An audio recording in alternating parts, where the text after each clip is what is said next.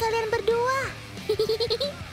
Kalau kalian kira Malian Sampi ini adalah adu cepat para sapi, itu salah teman.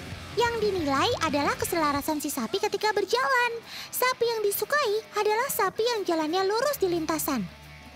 Jika sapi berbelok atau berhenti, maka nilainya akan dikurangi. Malian Sampi adalah tradisi yang merupakan wujud rasa syukur para petani setelah panen. Wahyu, sekarang gantian dong. Otan kan mau coba juga ngendarain si bule.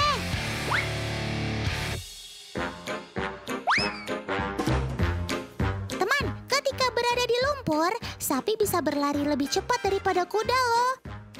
Hal ini dikarenakan bentuk kuku kaki sapi yang melebar.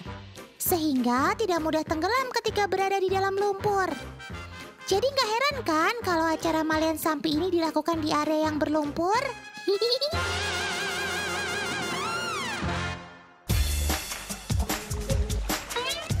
Setelah acara malian sampai selesai, Wahyu dan kawan-kawan langsung membawa bule ke sungai teman. Si bule akan langsung dimandikan karena tubuhnya yang penuh dengan lumpur. Si bule paling suka deh kalau udah main air begini. Apalagi air di sungai ini dingin banget loh. Agar bekas lumpur benar-benar hilang, Wahyu biasanya pakai jerami untuk gosok badan si bule. Udah dulu ya teman, Otan gak tahan nih mau ikutan mandi. Pasti seger banget deh. Biar.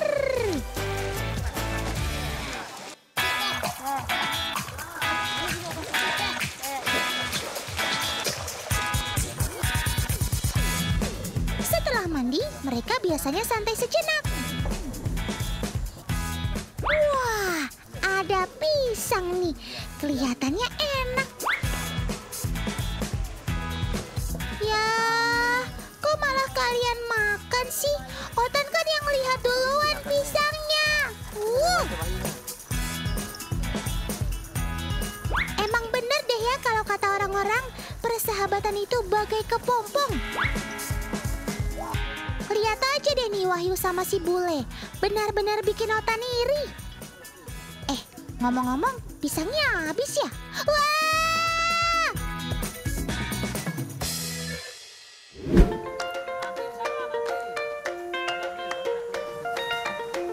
Teman, si bule ini adalah sapi spesial. Tapi nggak pakai telur ya. Pasti udah tahu kan spesialnya di mana? Ya. Ada pada warna kulitnya. Keseluruhan dari tubuh sobat Totan ini berwarna putih. Makanya nih sob, si Wahyu kasih nama sapi ini si bule. Eh, emangnya kamu mirip bule ya sob? Tapi Otan jadi penasaran deh, kok bisa ya seluruh tubuhmu berwarna putih? Itu sapi Bali, tapi sapi Bali yang albino. Eh, sapi albino itu memang ada dan biasanya diturunkan eh, dari ayah atau ibunya sapi. Tapi itu bukan penyakit otan. Eh, itu eh, biasanya sapi yang albino itu nampak lebih cantik dan harganya juga biasanya lebih mahal. Oh, jadi kamu itu sapi albino ya, Sob? Oke deh, Bu Dokter. Terima kasih informasinya.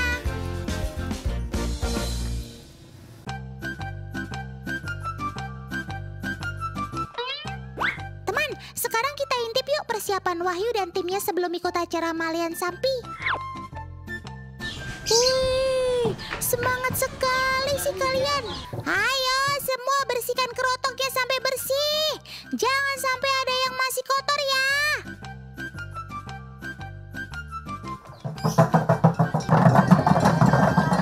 Kerotok ini sangat penting, teman.